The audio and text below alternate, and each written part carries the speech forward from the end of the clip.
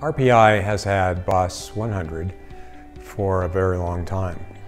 And BOS 100 was designed really to address contamination abiotically.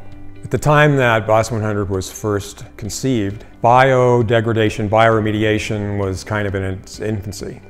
And the results that were being obtained from biological degradation of, of uh, certainly recalcitrant compounds, chlorinated solvents, had a long way to go. And over the last five to eight years, I think, the biological degradation of chlorinated solvents in particular, the enhanced reductive dechlorination, ERD in the industry, has come a long way. And over the years, it occurred to me that there was very likely a synergy that could take place between the iron in it in BOS 100 along with the activated carbon so that we could marry, if you will, ERD, biological degradation, with the BOS 100 and take advantage of both the abiotic and the biotic pathways. And the idea behind it was really to try to identify a suite of microorganisms and substrates and other additives that would create a technology that actually exceeded the capabilities of either one, the BOS 100 or the ERD on their own.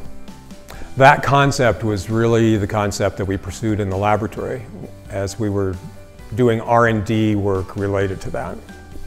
So we explored a lot of different substrates, we explored different bacteria, we explored different sets of conditions, nutrients, etc. And then we just started looking at what kind of effects we, we saw with a variety of contaminants. Uh, and in some instances, we incorporated the groundwater from highly impacted sites in the industry so that we had real samples and it wasn't just laboratory contrived contamination. and looked at the kind of results that we had. And one of the really cool things that happened and came out of all that research was we started realizing that uh, the iron inside BOS 100, when we married these all these technologies together in just the right way is that we could actually preserve the iron. And this was one of the biggest limitations of BOS 100 in the beginning, was the fact that the iron is consumed. As it degrades the chlorinated solvent, the iron is depleted. So when people would ask me, how long does BOS 100 last? The answer is, it lasts as long as the iron. Now, we have a technology that preserves the iron.